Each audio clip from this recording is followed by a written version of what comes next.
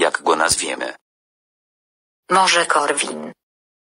Tylko feministki. Nikt jeszcze nie udowodnił, że feministka jest kobietą.